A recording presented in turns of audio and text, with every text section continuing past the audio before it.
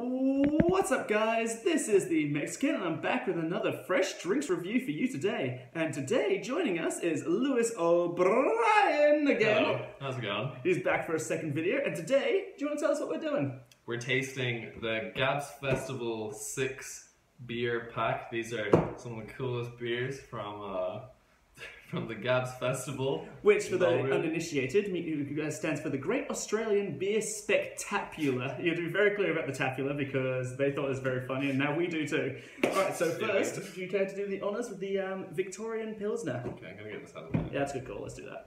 Let's do that. They- They saw the box. They know what it looks like. Okay. Uh, the well, he's opening it. The Gabs pack retails for twenty nine ninety uh, at Dan Murphy's, and it's exclusive to Dan Murphy's, as Dan Murphy's is one of the primary sponsors of the Great Australian Beer Spectacular. What? A, oh no! Wait, let's get. Okay, okay, okay, okay. Oh, you just I'll poured do me yours. first. Oh. All right, let's give it a sniff first. What we got? smells quite. Like piss? I mean, yeah, like regular, quite normal, normal. No, I mean like actual piss. Like I went to a bus Oh, really? stop and I, I like and you smelled it there. I, like the underpass of a train yeah, station. yeah. I'm not. Yeah, I'm not, I'm not sure. I'm not sure I'm keen for that. Let's, let's dig right in. What, what are you getting from it, Ashley? Fucking hell, Jesus! A bit of a, yeah, it's quite a hydrating smell, you know. I'll smell that and There is a bit of fruitiness to it, uh, aside from the piss. Yeah. No, but you know, like when you're smashed and you're like, I need water, and then you, you drink a bit of this and you're like, I feel better. you know? so it's hydrating beer. That's that's the recommendation from Lewis from, from the Mm. Extremely inoffensive. They did. Um, they did break down the beers. Actually, if I permit me to grab the box again, they did break down the um, beers in color coding. So the green ones are easier drinking, and the orange ones are stepping up, and the red ones are adventurous. This is the easier drinking one, obviously, as you, as you guess from Pilsner, as they're they're usually pretty inoffensive. But there's not a whole lot going on with that. It's, yeah, it's alright. Yeah. It's a beer not- you could drink warm. Yeah, it is. Is it? Yeah. Mm. Yeah, which uh, ours are not as cold as we'd uh, liked, but we're, we're just copping it because we're keen to get on with the review. It's true. Um, no, not too offensive. Not too offensive. Just a bit like nothing. I don't know that I would um, order this at a bar or something. You know, it's just it, like if someone handed me, I wouldn't whinge about it. But if someone was like, Oh, it's the perfect thing to hand to someone because it, like, it's nothing. You know, Yeah. there's not a flavor in there that you'll disagree with. "No, It's yeah, it's, beer. it's just you want? inoffensive." Yeah, that's that's you, you described it perfectly. Just inoffensive is the word to describe. And it's local. It is local, but I think all of these are they're all Australian beers. So. Uh, Oh, but Victorian, it's even more local. State local. Uh, actually, no, we got. Uh, I'm trying to look now. Uh, no, we got a couple from New South Wales and one from New Zealand, but it's all rel- it's all in the continent uh, continent of That one Australia. has uh, tequila in it from Mexico. Oh, it's actually got tequila in it. I thought it was just using agave. Hmm, we'll, find, we'll find out what that tastes like. But for, next, we have the Rose Brut IPA. You just rolled your fucking R. Rose. Did I? You That's really did. French of me. He's impossibly English. Oh, a bit rude. Okay, got a bit of that going on there. Okay, we've also got three glasses, so we don't mix up the taste. Fuck yeah. Oh, this is good one, I think. Yeah, sorry, I jumped the gun a bit. That's alright. That's alright. Now get into it. I appreciate the enthusiasm. Lovely bit of head on there. Ooh. Saucy boy. Oh, that does that does have a nice berry smell to it, like a typical rosé um, berries in there, a bit of light fruit, strawberries, raspberries, especially raspberry. Actually, I'd say. You know it's beer though. It Yeah. doesn't smell like Yeah, no, champagne. Yeah. bit on the sweet side, but I quite like that. I quite like that. That's yeah, It's quite nicely balanced, I reckon. yeah, no, yeah, no, I, yeah. It's not offensively sweet. It's uh, it's that's the word of the day: offensive and inoffensive. Isn't it? You got me onto something Or here. possibly. I didn't say. Oh, you keep saying impossible. Ooh, fucking two two standards in this little tiny can. Three hundred thirty mils, seven point five percent. I should probably should have. Uh, what's what's this? This is. I can't find it. Uh, four point two percent. The the pilsner. I should probably tell you the alcohol contents. Yeah, seven point five percent for this, and this is actually. Uh, Bridge Road beer, so pretty good beer. Nice, nice bit of sweetness to it. Nice bit of a beer balance to it. Really quite nice. Have another sip. I like it. Definitely doable that one. Coffee and donuts. Milk stout. Yeah, Did you- I'm actually looking forward to this one. Yeah, I thought you were going to leave it there. Uh, I'm looking forward to this one. Now, this one is deemed as adventurous. Brewed for adventure, it says on the can. Does it actually? It, it does. Limited release, brewed for adventure. Ooh, so limited release. So reviewing this is absolutely going to do no favors to anybody if uh, you can't get it again. But nonetheless, Buy we are reviewing it. Yeah, yeah, get in the Gabs pack. If you want to try this beer, if it turns out to be good, it might turn out to be crap. So you might not want to buy it. But um, we're about to find out very soon. Oh, she's dark. I forgot that I was supposed to be ex- expecting a stout. Instead of that, you know, you think you think coffee and donuts. You know, you know, you think it's going to be more creamy and whiter. I mean, if I get a bit of head on there. Nope. Why is everything like sexual, creamy, whiter bit of head? You know, it's getting a bit weird. It's like I don't know how I feel. I about mean, it. that's your way of interpreting it.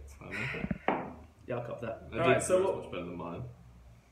I do, I do. I don't mind a bit of head on my stout. It's like you gotta get yeah, not too much, just like a t- tiny little bit. Um, so we got six percent here. Um, I think yeah, six percent, which is one point eight standard drinks.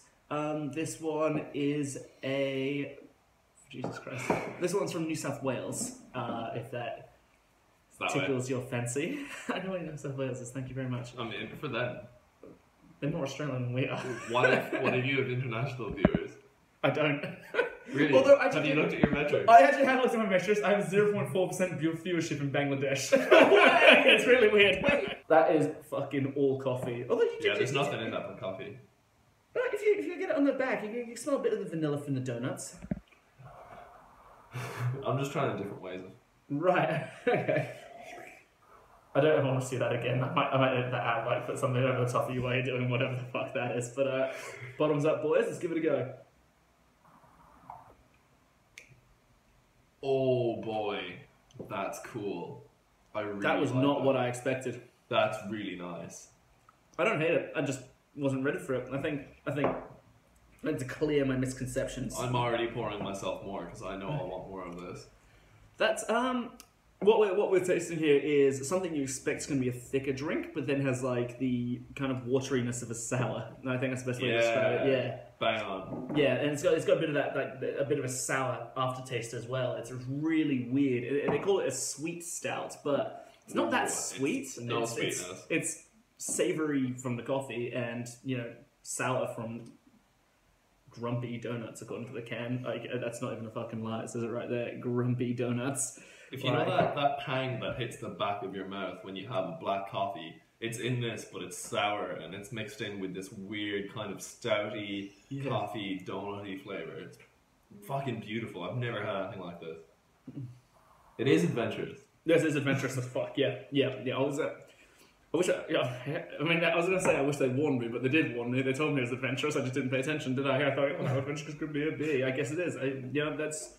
If you want to try that, and I highly recommend that you do, just even if you don't like coffee that much, which I don't. Um, yeah, it's well worth a try just for the sheer um, thrill of it. You know.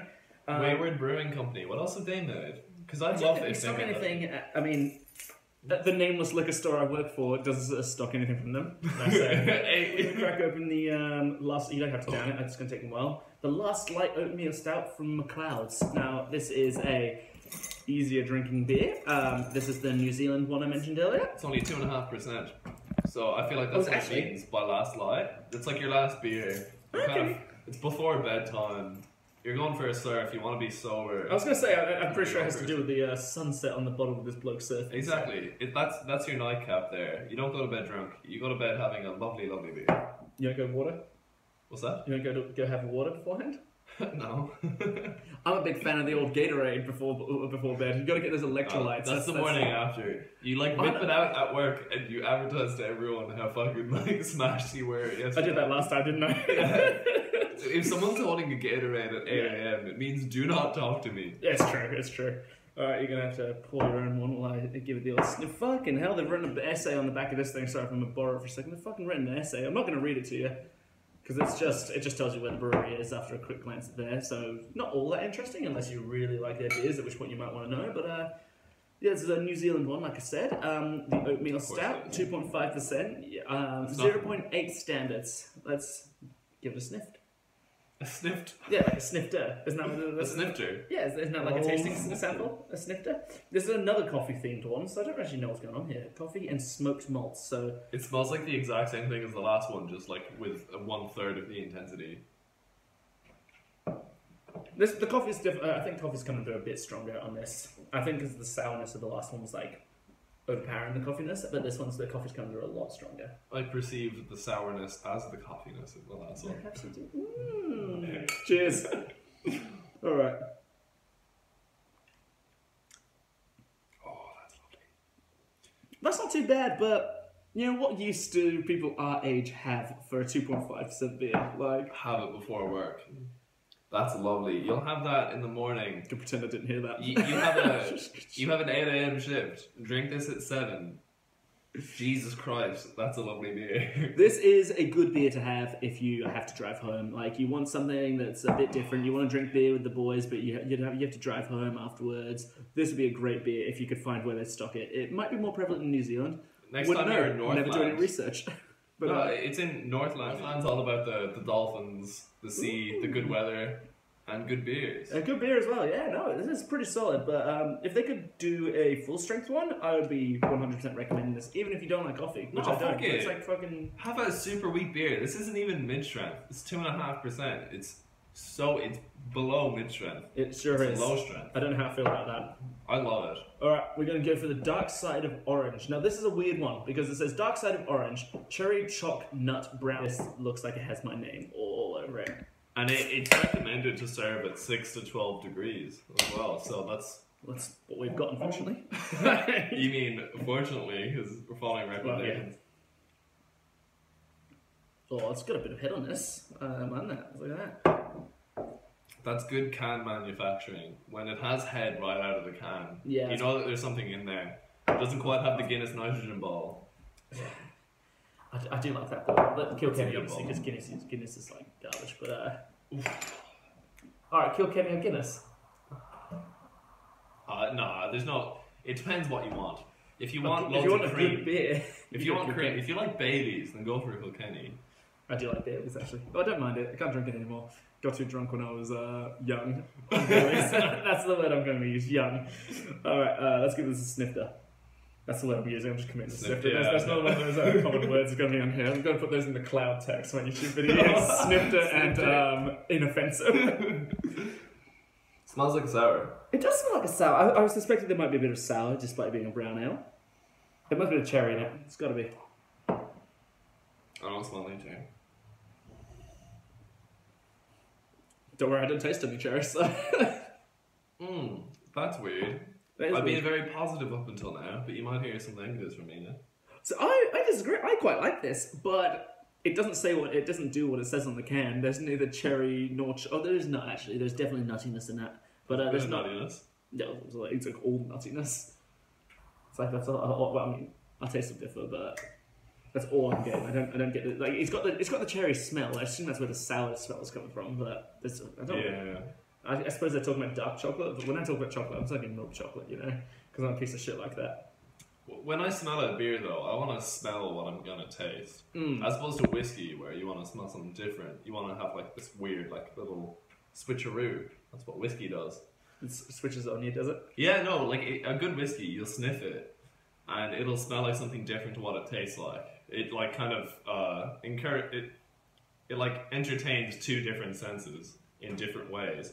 But this, I feel like I've been um, I've been tricked. There's no cherry in this. There, yeah. Bullshit. I have to agree. I have to agree. Um, Six percent, one point eight standard drinks, um, and they've actually been good enough to put the IBU, which of course stands for. I didn't even know that one. Got it. Um, international Business Units. It's International Business Units. Now, I actually don't know how uh, the scale of International Business Units, but I'm pretty sure 26 is somewhere in the midpoint, especially after tasting it. It's not super bitter. Yeah, no. Uh, it's somewhere in the midpoint, I'd wager, because I, I know some beers can get over 30. Uh, I've, I've seen a couple of those, so Mm. they're the more, obviously the more bitter ones. But uh, yeah, no, all in all, this isn't, it doesn't do what it says on the can. Now, he doesn't like it. I quite enjoy it, but don't come for it because you want to taste cherry choc. You come for it because you want that nutty, malty taste, which I really like my malts. That's why I'm not a huge fan of IPAs. Although this is a huge exception, obviously, because that was pretty fantastic. It doesn't taste like a regular IPA, but it's got the IPA strength. But if Um, you're somewhere in between like a red ale and a dark ale or Yeah. a stout, then this will do it for you. But if you're expecting some sort of, if you're a craft beer wanker that wants some like, you know, like some really cool orange, nutty, cool mix. You're not gonna get it here. I'd expect this to. I'd expect to have this at some random pub in Wales. To be honest, if they just gave me a random stout, I would be okay. Whatever's on tap, please, is what you'd say. Yeah, and then end up with this, yeah. cheapest stout, please. That'd Yeah. be three pounds. Like, I wouldn't go that far. No, this is, this is, I, I quite enjoyed it. I quite enjoyed it. If this is three pounds at the fucking pub, I would be over the fucking moon. This is actually a pretty good beer, but no, it is a good beer. It just kind of, I don't know, with like, because all all of these cans are silver at the top, except that's black. So you'd expect. that's the dark side of orange, isn't it? I know you'd expect something magical out of it, but Um, this was the only stepping up beer in that selection, um, for your information. Now, last but not least, we're going to go to the Jalisco Sour. Uh, this has, well, do you want to read us the thing while I'm pouring it? Uh, middle left. So this is a sour beer inspired by Jalisco, region of Mexico, the home of tequila. And it's got some apparently char grilled pineapples, a punch of Mexican Oh. spice, kettle sour to create that agave sour flavor. You can Plus. ooh add a bit of salt to the can. Better salt. Oh. Hashtag rim it your way. Let, Yikes. guys, Yikes. Hashtag rim it your way. Let's get it trending on Twitter. so tweet us your favorite beer. Hashtag rim it your way. Oh, it like like a Pornhub tag. Fuck me. your, your uh, mug. With which are Yeah, for the sour. Yeah, yeah. So we uh, decided to put the uh, sour in a separate mug because we didn't want to confuse it with the darks or the whites. you know. That'd be fucking crazy. It would be grim. Now, what does that smell? Ooh. Fish. Pineapple. It's pineapple. It's pineapple. It's, it's, it's, it's pineapple. It's pineapple. It's what it is. Well, no, I just, I just, it just smells a bit fishy. You know, it's not a bit fishy here. So this smells like when you go on a trip to South America to find yourself, and someone shows you a fruit that you've not heard of before. Okay, this ought to be good.